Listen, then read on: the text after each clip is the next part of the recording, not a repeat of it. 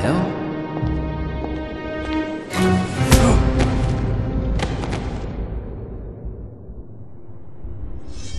Wake up. Wake up, Alice. Look, I'm glad you followed the breadcrumbs, Mr. McPherson. I wanted you to witness my latest masterpiece.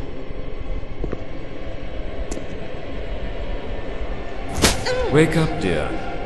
I wouldn't want you to miss the pain.